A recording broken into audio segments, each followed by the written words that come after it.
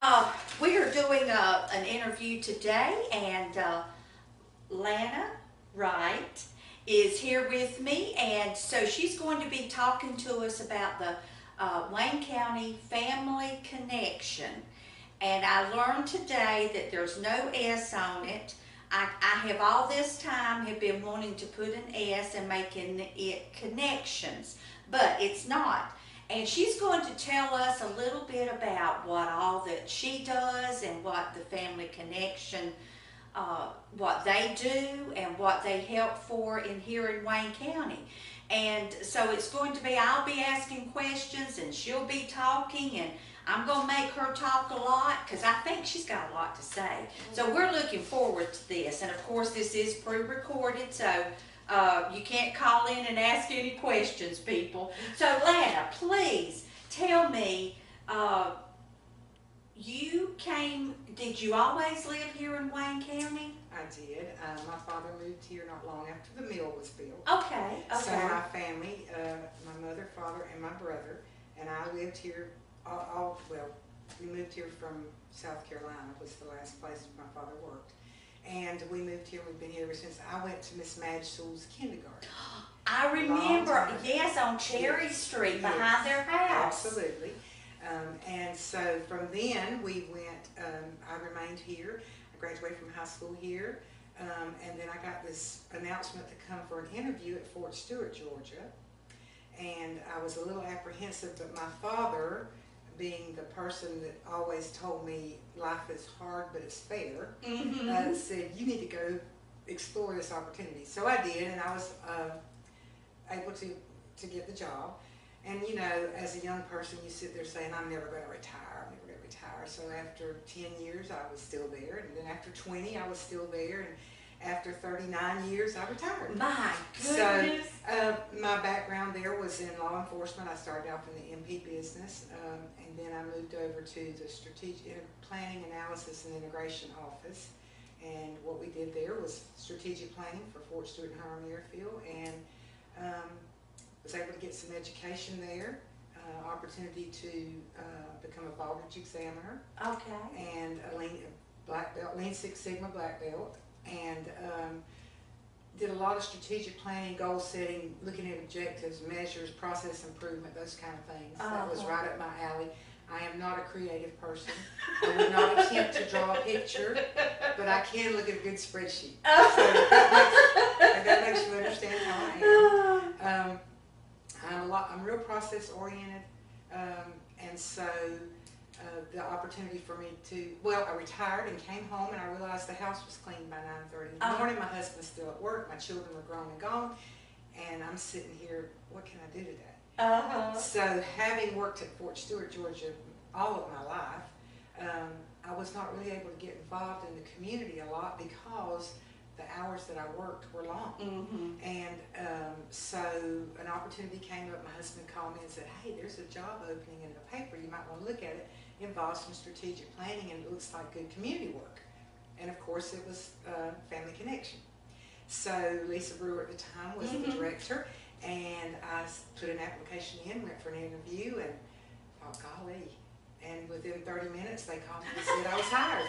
My, that's And- probably got to be the fastest process I'm ever for, you. for a And job. I was so thankful. Now, I now one thing about Family Connection, different to my previous career, Mhm. was that the Army has a regulation or a policy for everything they do.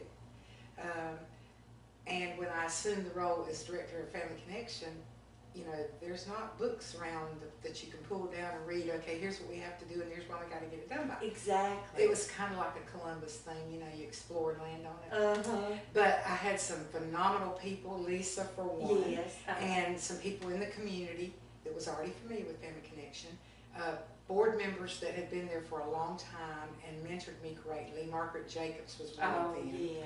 And so I was able to get my feet on the ground and begin to do the work. Um, the first couple of years it was a little challenging because I wasn't accustomed to the way things are done there. Right. But, and not challenging for anybody but me, just learning the new process. Mhm.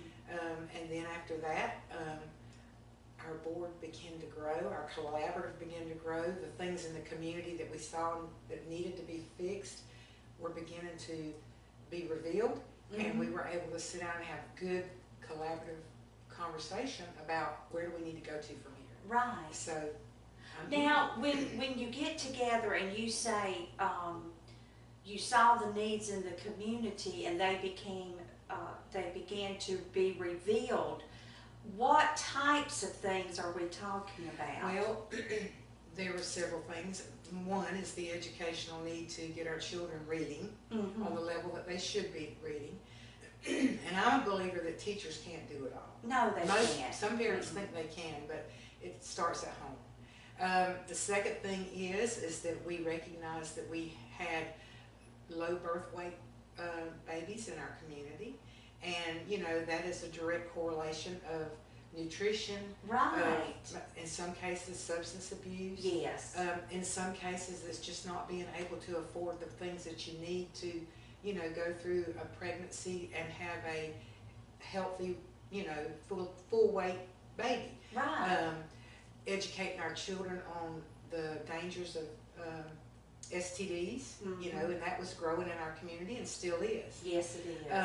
More and- so than, than a lot of people want to. absolutely. Oh, no, that doesn't happen in- Right. with our teenagers. That's correct. Mhm. And, um, and then we saw, uh, in the very, very near, uh, while we were pro- doing our processes, we saw the tremendous growth in the need for community awareness, awareness in mental health.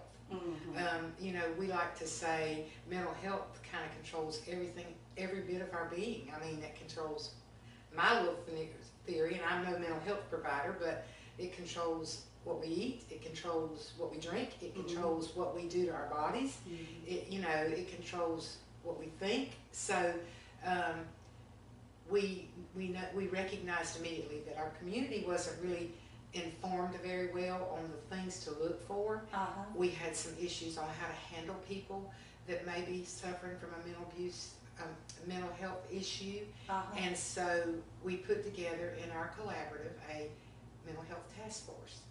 Wonderful. And, and that starts, uh, we have a chairperson that kind of runs that task force, her name is Shauna Mattingly. She's Yes, I know Shauna. Wells, Uh-huh. And she is phenomenal when it Yes, she comes to is. helping us with that, that process. And the other thing we recognized that um, most people may not see visually in the community as you ride through, as you would in a larger city like Washington DC or, you know, Chicago or bigger cities, a homelessness issue. Yes, yes. Um, and so, you know, um, I, working for the Army, I had to go to the- Washington quite often to do work. And, you know, you walk out and it's not unusual to see people that are homeless, you know, in the streets. Mhm. We normally don't see that in a small city like Mhm. Jesup or Wayne County, but they're, they are there. Oh, they're there. And so, uh, another thing the collaborative is concerned about is how can we, we don't really have a lot of programs to meet those needs right now.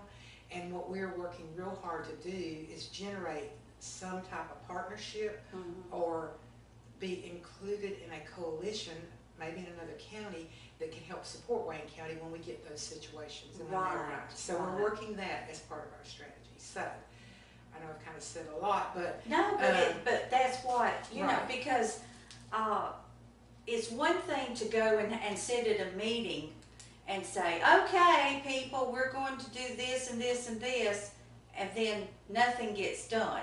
right. It's another thing to see what needs to be done and get, and get out there and make sure that you get the board members Absolutely. and the coalitions and all of this on board where they can really get out there and make a difference. And we, first of all, uh, Family Connection was designed by Governor Zell Miller in nineteen ninety-one. It was a Okay. program that he envisioned, and it took off.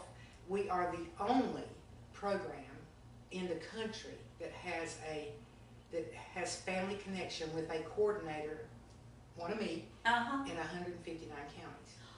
Really? Throughout the state of Georgia, you will, you will find a Family Connection person in all counties inside the state of Georgia.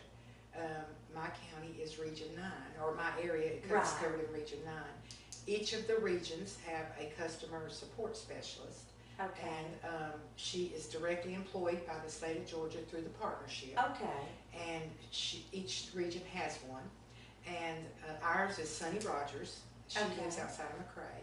She has a big job because there's a lot of us in Region Nine. Oh. And so she comes uh, periodically to our collaboratives, and she is there if we need any support. Other than that, the partnership is very good about letting the local collaborative work their processes. Uh-huh. Um, they give us some guidance, they give us some things that we need to be looking for, but they let us run our collaborative and they let us deal with, they let us pay attention to the community needs. Well, that, because every community is different. different, that's correct. Well, like you were talking about the low birth rate, uh, where Wayne County was having it, you know, years ago. Uh, well, maybe in another county, they don't That's have that correct. problem. That's So I, that's a wonderful thing. So basically, um, the partnership was formed at the, at, at- in the state of Georgia, in the Atlanta area. And, um, it was, it was designed for every county, and the basis of that was basically to establish a capability to connect with partners within the county. Mm-hmm. And we're talking about all kinds of partners. We're talking about health, medical folks, we're talking about lawyers, we're talking about business owners, we're talking about, you know, affiliations, the Board of Education, the hospital, uh, anybody, we, we welcome anyone on our collaborative. I mean, we're, uh, we put articles in the newspaper every week inviting people to come join us. We are in dire need of more family member representation. You don't have to be a business Oh. owner or, you know, a, a, professional person inside the community or whatever. If we, we, we love to have family members because sometimes you get your best information from just a family Oh. member in the community. Now, see, I, I, I think a lot of times people have the misconception that because I don't own a business, I'm, I'm not involved in, in this, that, or the other, that I can't be involved in that. So that's good to know that the community, if they're just mom and daddy, That's exactly right. you know, We- that they would be We welcome to cover do those that. folks on our Uh-huh. because we definitely need to hear what they think about, Yes. what- you know, you can get to going down one road and all of a sudden you realize, hey, maybe this is not where we need to go. And you Uh-huh. need to have someone kind of give you a check to make sure that, hey, there is a problem here. There may be something out there they recognize that we don't see as a collaborative, you know, as the collaborative Right. as, as it currently is. So, yeah, we, we, we would love to have Oh, members. So if you know anybody, please let us know. Okay. Call them up. Um, the Family Connection vision right now in the state of Georgia is where all of our children are healthy, primed for school, and succeed when they get there. And that we build a strong family, families within our community so that we can have a vibrant, robust community and that they can thrive. Uh-huh. Um, so that's our, that's our vision, that's our partnership vision, we adopt that vision at the local level because we all wanna stay focused on the same thing basically. Um, our, you know, and our purpose is what I have generally stated, our purpose is to look at what's going on in the community, look and see if there's any areas that really need improvement or that we can do Uh-huh. as a collaborative, uh, we're, we operate off a state grant, so we don't have money to put forth to make something happen, but we Mhm. can certainly pool resources Right. and right. work with people to get Mhm. things done. When I came on with Family Connection, two of the major processes that I was told that Family Connection played a role in was our community transit program Yes. and uh, the Boys and Girls Club. Okay. So those were two things that I, you know, we hear about all over the country. I mean, there's a lot of boys and girls clubs in oh, other counties, yes. and there's a lot of transit systems in other counties. So, you know, that gave me a really good feeling that hey, there is something we can do that benefits the entire community, not just yes. a certain segment. of people. Yes. So, um, other than that, we uh, we do pay attention to a lot of statistics, and if we have a few minutes, what I'd like to do at this point yeah. is kind of go through. So we have a governing body. Uh-huh. And the governing body chooses our chair. And from that, we have an executive board and we have a collaborative board. The executive board is made up of four members right now. They have served with me for a good long while, Mhm. which I'm very thankful for. Our chairperson uh, presently is Ted Buford, and Ted used to be the, D- the Department of Labor guy here. Okay, that's why that name sounds familiar. Okay, okay. Our co-chair is uh, Susan Delagoff. Uh-huh, and she's web electronics and digital marketing. yes. I don't know if I got that right. I hope she forgives me about that title. But anyway, but she is just phenomenal with us. And then we have John Benner, Uh-huh, um, who's the Wayne Service, Service Center. yes. And he is our uh, financial officer. And then this year, each year, the Board of Education needs to give me a agent to represent the, our physical agent. Um, The Board of Education here in Jesup, for Wayne County, is my Uh-huh. physical agent for Uh-huh. the, for the resources that I get from the state. And so there is a representative on our executive board that kind of oversees to make sure everything is, is okay. Yes. And this year, it's, uh, I got a new one. Um, Dr. Brinson, uh, always gives me a principal to sit on my board, uh, and usually for two years. Uh-huh. And this year, it is Jeremy Foreman. Oh, the new, the new principal at Arthur Williams, Right, and yes. I haven't met him personally, but we've been corresponding Uh-huh. over email. And matter of fact, our first meeting was conducted on the opening day of school. Oh, And no. so he, he sent me an apology, but I said, you know, that's, we certainly understand as long as you're taking care of our children, we're. That's right, We're that's fine right. with that. But anyway, I'm looking forward to meeting him in person. I've Yes, heard a lot of good things about him. So, um, and then of course, we have several board members under, collaborative board, board members under the executive board. And our structure is, is that we are, um, they, what the board does is the, the board works with, as a overseer of the collaborative.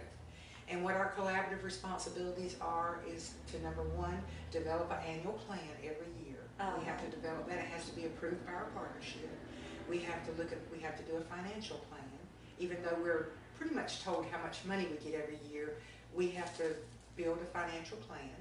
Um, and we also have to tell them the strategies that we wanna pay attention to in, in, Wayne County. And like I said, we kind of mandate the educational strategy because that comes from Atlanta, Uh-huh. and we need to do that in every county. right, right. Um, and so, uh, right now, we have two main strategies. We have the educational one for our third and fifth graders, uh, one for reading, one for math, and we have our, um, what we call stable family. Um, and that involves the mental health awareness Okay, for our okay. community. It also involves, um, the homeless, uh, coali- we wanna build a homeless par- partnership and hopefully a coalition. Uh-huh. Um, so what we're doing now is trying to go forth and try to make those happen. Um, Now, you mentioned Shauna, and she works, at Anchored in Wellness. Right. Mhm. and uh, I know Shauna, her, her um, heart has been with the homeless for Yes. several Yes, years now. is. In fact, she and I worked together um, in a group, and we met briefly, uh, and then I think whoever was doing it, it kind of fell through. Right. But Shauna had shared so many things. She's, she's Yeah. got, she's, aw- she has an awesome personality. She has a does. love for the peop, for people Mhm. and a willingness to work. So Yes. she, we really have her, uh, we really have a benefit with her on both sides. One, through our mental health, because she is a mental health provider. Yes. And number two, because of her knowledge and her desire to help homeless, we have, Mhm. you know, so we- we've gotten two pluses there with her. So I'm really, really excited with her. Yes. And of course, all the other collaborative members, they're just so absolutely willing to serve. And that, that's what makes a good collaborative. Yes. Oh, yes. The, the Pineland, our college here, uh, Coastal Coastal Pines, yeah. I get Pineland and Coastal I know. the Coastal Pines College here, Uh-huh. I have some uh, allergies. The Oh, Coastal, that's all right. the Coastal Pines College here is well represented on my collaborative. Oh, good. We track, we, you know, we, we are involved in how the GED testing and process goes. Mhm.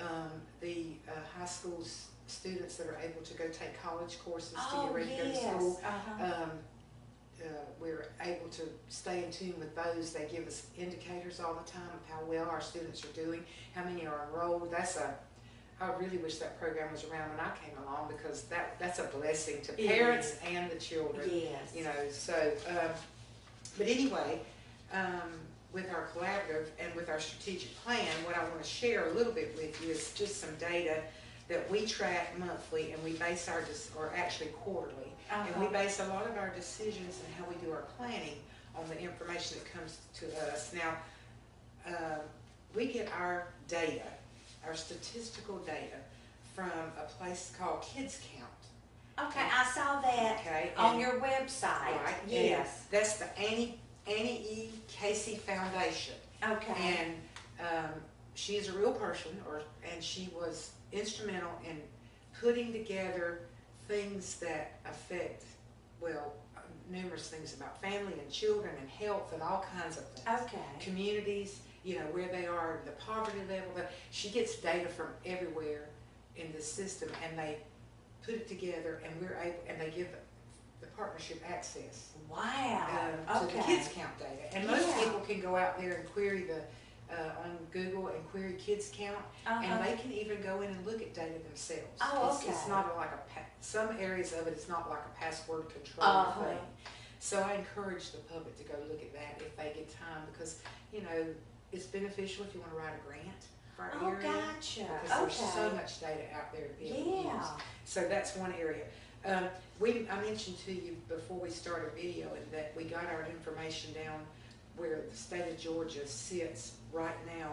Um, Georgia again, emphasize the word again, ranks thirty-eighth in the nation for overall child and family well-being in our latest kids count information. okay, Okay. good. That's where, that's how that, uh, number is, is dri- driven from. Uh-huh, Okay, and so I said that to say that when, how that corresponds with what we look at is, we'll, we'll start off with the educational piece. uh-huh. Um, Georgia's ranked thirty-seventh in education. And you think, oh goodness. But I will say that there is some good news locally in that area, but overall, we still got some work to do. Yes, Um, the percentage for high school students that graduate on time, uh, right now, uh, it fell from nineteen percent in two thousand seventeen to eighteen percent in two thousand eighteen. okay. Now, the good news there is though, is that with Wayne County, we, our, our rates, uh, in two thousand eighteen were ninety-one percent. And in two thousand eighteen, it was, it climbed to ninety-four percent. Wow. So, you know, while we look at saying, oh goodness, we don't have a lot of kids, our kids are not graduating on time, Wayne County, I feel, overall is doing a really good job of getting our kids, keeping our kids in school. And the Board of Education has done a tremendous job with the programs so that we can afford these kids the opportunity to graduate. Yes, So I'm, I'm definitely. Absolutely. So, um, now, a couple of other things that are interesting is that I talked to you about education being one of the things that we look at, and the third and fifth grade reading and, or English and language arts Uh-huh. and mathematics. So I want to share with you just a little bit here. Um, we began this in 2015, tracking the data. In the beginning, our point for our third grade readers was 31.7%, and this was in the proficient learner category. Um, our most recent county data is come up now to 44.6%. Um, and this is 2019. Wow. The state of Georgia is at forty-two percent. So Uh-huh. we have surpassed the state of Oh, Georgia's that's- record, and we're in, the and I wanna say, we're in the green. Yes, yes, So that, yes. that's been a good, tremendous accomplishment. It speaks volumes for teachers. Uh-huh. And also other programs that we can try to support outside of actually the school. Summer reading Yeah. programs, the library. Oh, yes. You know, those things that can help uh, offset uh, children's learning capabilities when they're not actually in a classroom. Gotcha. Uh, Our math levels, we began with a thirty-six point nine at the beginning of the data, which was two thousand fifteen again, and we're, our most recent data is at forty-two point eight percent. Um, The state of Georgia's at forty point eight percent. Ah. So there again, we have made some, I think, marked strides in those. Yes, yes. Um, so those are some of the things that we track and we talk in the collaborative about it. We get information from our educators. That's why it's so beneficial for us to have a principal yes. on our board, on our executive board, because they give us tremendous feedback. Mhm. If something's going on in school, what, an example is one year I had a principal, and I won't name any names, Right. but they talked about some of the children coming in that really didn't have the hygiene that they really needed to have. You know, uh, and children are going to be children, particularly in our elementary grades. But sometimes children can't afford things. Exactly. So what we did is we partnered with another agency in town, and they began to give us their overflow of hygiene items: shampoo, deodorant, um, you know, uh, body bath, soap. Uh-huh. And so what we would do is we would create little packets and take get them to the school. So they were able, and we did that with a local church that was already doing the backpack, the buddy Yes, the buddy backpacks. And uh-huh. so it worked out where we could get children those kinds of things that we thought they needed or that would help them in that area, um, without, you know, being so visual. yes, yes. Without it being so visible to other students. Yes. So I was really thankful for that. So those, those are the things that we get to help out with. Yes. Um, I had an elementary school one time. I just, I, my office is in the Pine View housing area. okay. Uh-huh. Um, Mark Watson is, uh, been most, uh, helpful to me. I was located in the old band room at the high school. oh my goodness. Till that mus- monsoon hit us that Uh-huh. evening and flooded everything in Wayne County a couple of years ago. And so when I went in and turned on the light, I was ankle deep in water. So obviously we had to make some changes. Yeah. And for a while, I had no meeting place for the collaborative, and then uh, Mark Watson got in touch with me and said, hey, I've got an office down at, in Pineview that we don't use anymore because we've moved to the new area, and I'd welcome you to use it. So Right. that was a, Now, that's that- a blessing. Is that the one Right off down? Pine Street, here off Yes. of Bamboo. Right, right, And right. so inside of the, of that area, I noticed we have a lot of children there. Mhm. And so I thought, what a better way to get some reading material? So we did a little lending library. Um, I think we took one of the old Press Sentinel boxes that wasn't working anymore, and we um, You know what? and we spray painted it all up, and Uh-huh. we put it out there. And one of the elementary schools in the county Uh-huh. um, afforded me the opportunity to get some of the discarded Oh, library books for that age. good, good. So I was able, I'm able to, I'm always out beating the bush for books. So if you know anybody that, that's got any books, Yeah, let me know and I'll come pick them up. okay. But I've just put them in the little box on the Mhm. front porch of our building and kids come take them for Oh, free. And I usually have to fill them up about once every two weeks. Good, So good. I feel good about that because I think they're getting, you know, some little books to read, which, which helps them. Well, I was going to say that the, uh, Wayne, the, uh, Altamaha Women's Club, we, uh, we donated one to, uh, to the Housing Authority. That was an old press Well, center. that, that, that may be how, what I got. But- Yeah. But I got one, and so we just started putting books in Good, good. for that area, Uh-huh. and, uh, and it helps, I think it helps tremendously. Yeah, Um, s- we had, we've opened up our office at, um, not this past summer, of course, because Mhm. we were under the COVID Oh, I know. restrictions. But last summer, we were able to open up the office twice a week for an hour, um, you know, reading session with the oh, children. good. And that worked out good because our um, breakfast and summer feeding program, they deliver breakfast and lunches to those areas. So we happened to be on that delivery area, so the kids that were reading there got their lunch there. Oh, So that worked out yeah. really good.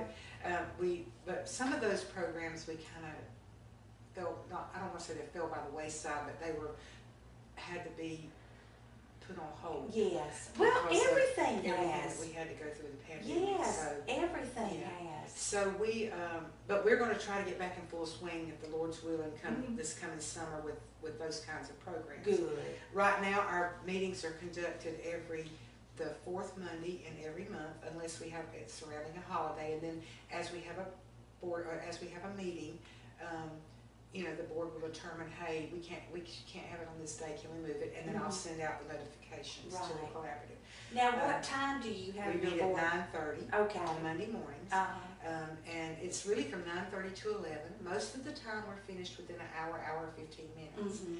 Um, we try to start on time, and we try to finish on time. Yes. Um, and so the collaborative will, we, we will talk about, uh, the, the people that come in give us updates. Mhm. All the collaborative members will give us an update on what they're do, what they're doing, if they've got something that they're gonna have in the community, um, you know, if they've got a new program they're putting in place. So we get a lot of, um, networking going on Good, there. good. And then, um, after that, we talk about, um, the business part of it, um, financial part of it. We take minutes for every meeting. Um, and we are gonna be posting those on our website, so people can go out there and read what happens in the meetings.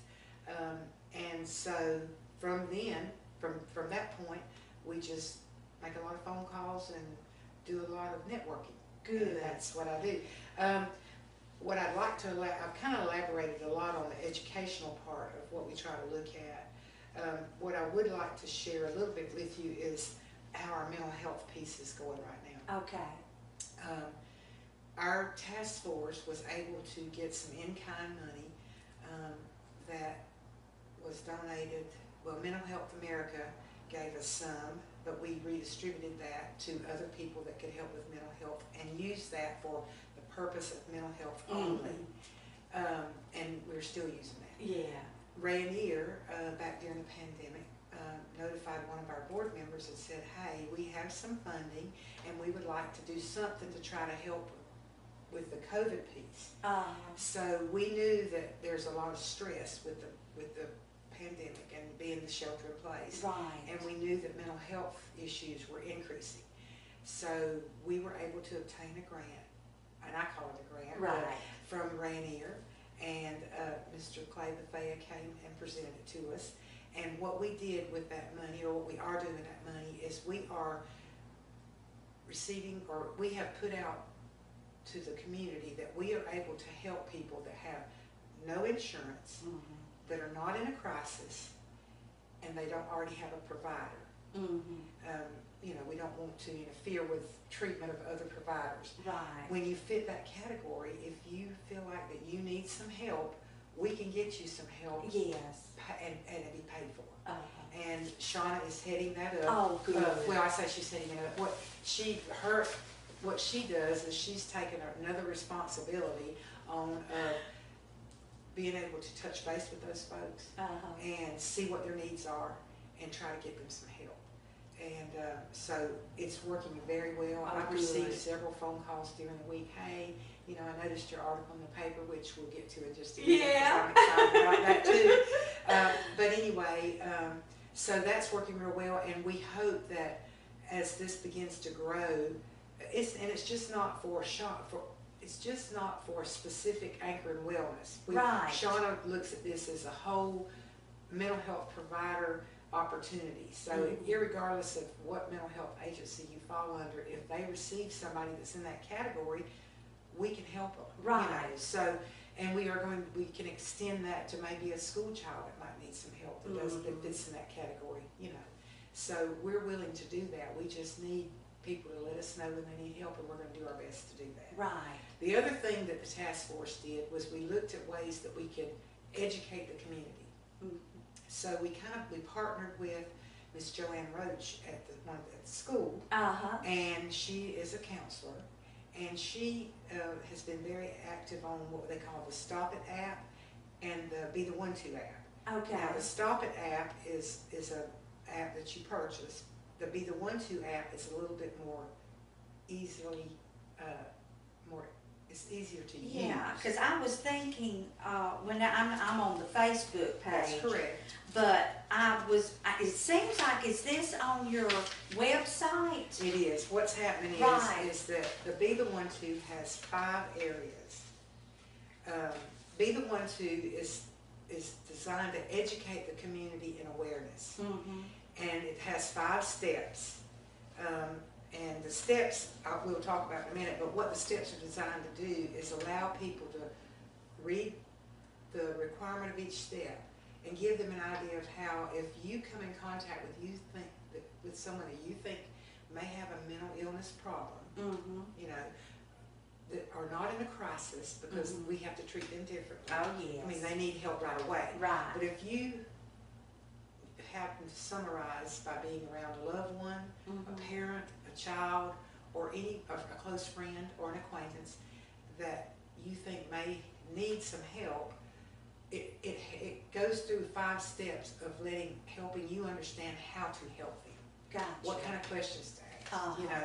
know? Um, and so we are publishing that in the newspaper. Oh, good. Every week, you're gonna see a new article. Uh-huh, The first step is to ask. It's okay to just ask somebody, do you need some help? right. Okay? And then, you know, we, the steps to be there, um, to help get them help. You know, the final step is don't forget them. you know.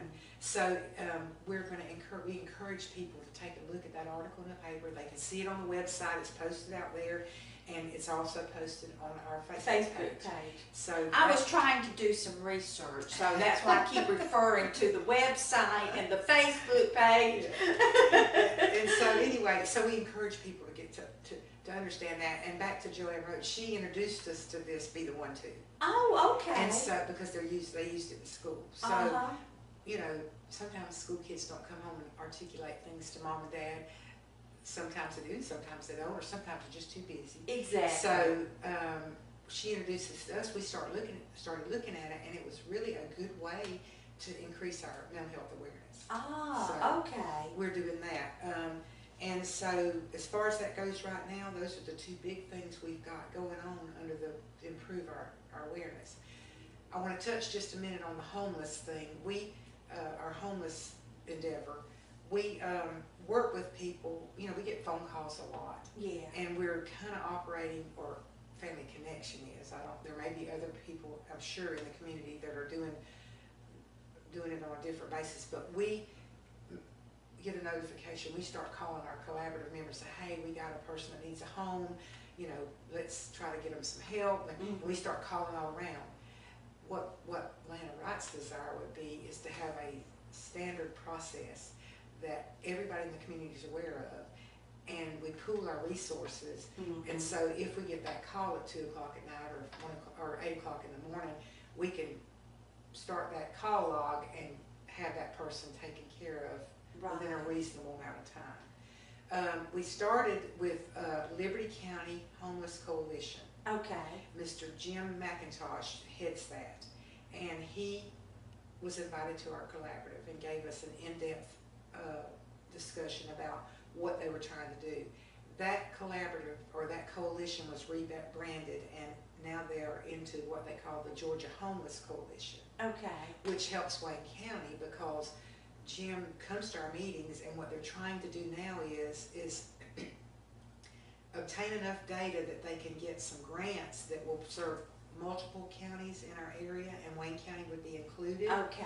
Um, there's gotta be some work done. We need to do a point in time count where we Mhm. actually go out to the area and see if we can make contact with people and, you know, count numbers. Mhm. Um, we've gotta do that first. We had that plan for the month of, first time I think it was the month of June or July, and then we had to postpone it because of COVID. Uh-huh. Then we, we targeted August, but now that's out. So Yes. We're, we're just waiting to see when we can effectively do it without, Right. you know, violating any of the CDC, you know, we don't Oh, want to no, cause any no. problems. So, um, and then, so, so we are working that, trying to work on a date. Mhm. When we get that done, and he also works with the school. Uh, Okay, To, to okay. determine what their count is, because the cool, school manages their own count for Yeah, homelessness. Yeah. So we're gonna try to work this together, and that's gonna be something we focus on really heavy in the coming months. Okay. Um, and I'm anxious to get that moving as soon as we Yes. can, because I do think there is a need out there, and we do need to try to meet it as best we can. And, and talking about the COVID and homelessness, Right. unfortunately, with a lot of people losing their jobs, Right, they're not able to pay their rent. right. And if they don't have family to fall back on, Well, that, that's very true, and it, and it kind of, it's kind of a downhill, mhm. you know, our, not being able to work causes a lot of people Oh, problems. yes. And the poverty level as a whole in Wayne County is not where we would like it to be. right, Uh, it is to, it's not, it's not, it hasn't fluctuated a lot in the past from seventeen to eighteen, but I think we're up to, we were at eleven point two percent in seventeen, of families below the poverty level, and we're up to twelve point eight at this last count. Uh, So, you know, percentage is, could be representative of a lot of folks or a lot of problems. Um, the state of Georgia's poverty level is at, and if you'll forgive me just a Oh, moment, I no, can tell you uh-uh. that right now, I believe we did a poverty level, or they gave me one. Um, Let's see here. Okay. Um, yes, here we go.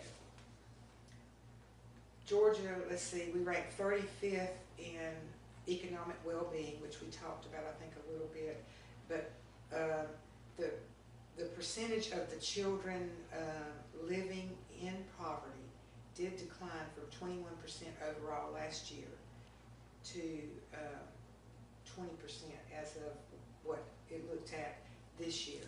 Wayne County, and I stand corrected because I'm, I'm telling you wrong, we're talking children living in poverty, we're not talking Okay, about the poverty right, level. poverty level. Right, so uh-huh. the children living in, in poverty in Wayne County, uh, is, as of two thousand seventeen, was at thirty point one percent. And at, as of two thousand eighteen, it had, it did drop down to twenty-eight point seven. And that's children living in poverty. Um, our family and community, Georgia ranks 39th percent in family and community, and what that involves is children growing up in a family where the head of the household lacks a high school diploma. Uh-huh. Okay, and, and what happened is, is, um, it remained steady from last year at thirteen percent. Um, but it needs to get up. Oh, We need to, you know, that, we are, the rate of children living in, um, in those homes, um, this last year was, like I said, thirteen percent. Wayne County, um, in two thousand eighteen was eleven point one percent, and two thousand nineteen was twelve point nine. Uh, So, my point is, is that we are trying, we need to do all we can to try to fi- reach out to those folks that don't have a high school diploma, and that's where the GED program comes in so helpful. And I would encourage anyone, if they are looking to try to get their GED and they are an adult, call the Coastal Pines College, mhm. Technical College. There are so many people out there, and there is um, such a fantastic program out there for GED, and there's also help for people that can't afford to take the test. Yes, So we need to really promote that as much as we can, Yes. because I do believe that'll help, you know. Um, And then, of course, our, um, Georgia ranks forty-six percent in overall health. Now, overall health, when we talk about children and family, has a lot, is, it Uh-huh. involves a lot, but, um, the increasing birth, this, the ones that we look at are the increasing low birth weight.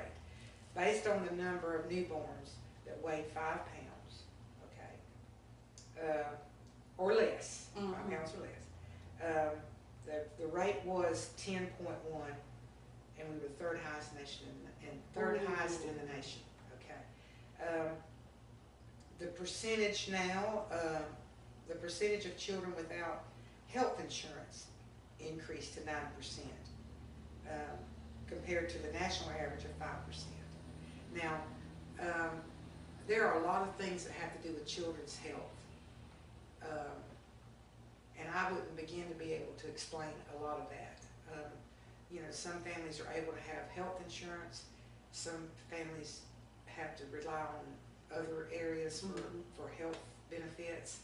Um, but I just don't, uh, and there is a broad or wide variety of those programs that can help children or parents get insurance for their children. So I would encourage people that if they, if they find themselves in a situation where their child does not have any health coverage at all, I would encourage them to, you know, call the agencies that can help them understand that DFCS would be one. Mhm. Uh, you Talk to your local physician, I'm sure that, you know, our pediatric, our doctors that are, that uh, practice pediatric oh, care can help parents, you know, identify some agencies. So, and we also develop a resource directory that Drew at the Press Mhm. is, ha allows us to put an entire, I think it's probably eight pages by now, of our Family Connection resource directory in there, um, in the community book. Uh-huh. Um, Oh, the, um, uh, oh goodness.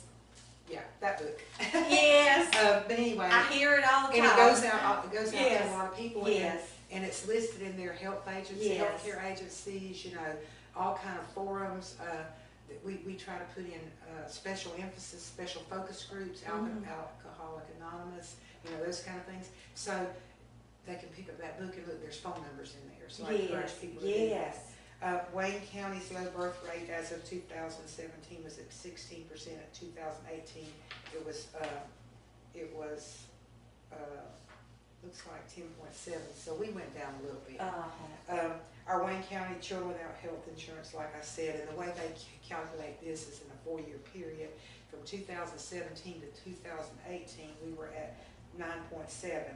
And then from two thousand fourteen to two thousand eighteen, we were at nine point eight, so we did decrease some there, so Uh, that was good. You know, Yeah. Anytime you see a decrease in something that important, you're It's happy for the good, decrease. yes. So, um, but other than that, we, um, we track those, we look at them, we try to make the decisions that benefit the community based on input from the collaborative and other agencies that, uh, to try to see what we can do as a forum to improve the well-being, the health of both children and family members in our, in our co- community. Yes. And, uh, you know, uh, the, there's a big percentage of people that need help, and there is a big percentage of people that can help. Yes, So what our intentions are at that point is to, um, look at how we can help the community as a whole prosper, and that's our goal.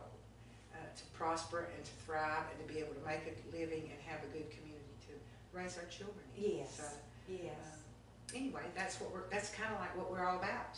And it's very easy to find the website because I just Googled uh, Wayne County Family Connection and it popped right up. And uh, from there, uh, you know, you, you've got all this information that you can go to, and uh, it just had a lot of wonderful information about the, the group, uh, the organ. Right. What are you exactly? We're a collaborative. A collaborative, thank you, Uh, because everything I was saying, it didn't sound right. So the collaborative, and, uh, they also have the Facebook page, and again, you know, there's a lot of information that they get out that way. So, uh, please, you know, if you want to learn more, uh, get on there and research. And if you would like to get involved, I'm sure they would definitely love that. We would, we would absolutely covet your involvement. Yes, absolutely. yes. Um, and so, and, and don't forget, we, they can join us on Instagram. Uh, They Okay, can join us on Twitter. okay. Just look for Wayne Family Connection and, and, and follow us and we'll be there. That's We'll keep- right. We'll keep you updated. Okay, sounds wonderful. And again, thank y'all so much for watching, and uh, we just appreciate you being with us. Thank you. I enjoyed it. Yes, thank you. I enjoyed it too.